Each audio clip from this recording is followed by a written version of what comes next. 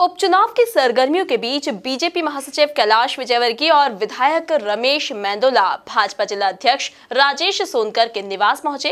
इस दौरान सांवेर उपचुनाव की रणनीति और कार्यकर्ताओं में समन्वय बैठाने को लेकर चर्चा हुई। देखिए खास रिपोर्ट। मिशन मालवा निमाड़ पर कैलाश विजयवर्गीय। जिला अध्यक्ष राजेश सोनकर के घर पहुँचे कैलाश। सावेर के समीकरणों पर हुई चर्चा। मंत्री तुलसी सिलावट की जीत की बनाई रणनीति। मध्य प्रदेश में होने वाले विधानसभा उपचुनाव को लेकर बीजेपी ने अपनी कमर कस ली है। मालवा निमाड़ क्षेत्र की पाँचों सीटों को जीतने के लिए भाजपा के महासचिव कैलाश विजयवर्गीय ने पूरी ताकत झोंक दी है। उन्होंने विधायक रमेश मेंदुला के साथ भाजपा जिला अध्यक्ष डॉक्टर राजेश सोनकर से उनके घर पर मुलाकात की।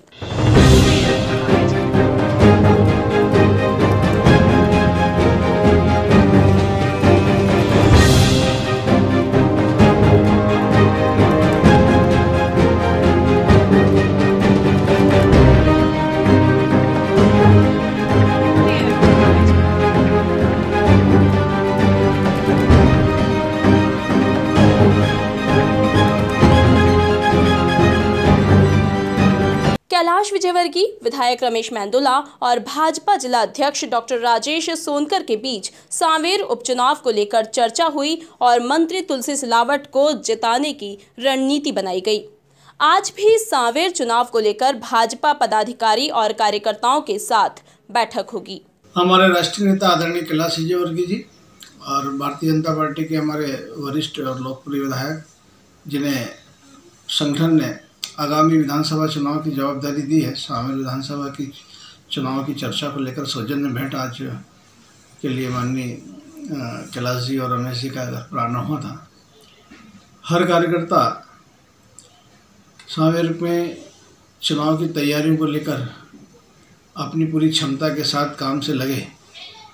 इस योजना पर आज उनसे चर्चा हुई और कल हम भारतीय जनता पार्टी कार्यालय पर बैठकर पार्टी के प्रत्येक कार्यकर्ता, हमारा पूर्व पदाधिकारी, वर्तमान पदाधिकारी, सभी जनप्रतिनिधि, सबकी भूमिका तय करके आगामी चुनाव में भारतीय जनता पार्टी की जीत सुनिश्चित करने की तो उन्हें जवाबदारियाँ सौंप कर काम में लगाएँ।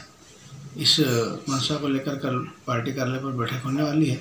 इसी संदर्भ में आज चर्चा करने के लिए उनका निवास पर आना हुआ था। बता दें कि इस बार सांवेर विधानसभा में नए समीकरण बनते हुए नज़र आ रहे हैं। कांग्रेस छोड़कर भाजपा में शामिल हुए तुलसी सिलावट का सांवेर से उपचुनाव लड़ना तय है। ऐसे में बीजेपी कार्यकर्ताओं में समन्वय बैठाने और कार्यकर्ताओं की नाराज़गी दूर करने को लेकर भी ये बैठक अहम मानी जा रही है। Bureau report, MP news, Sanwer.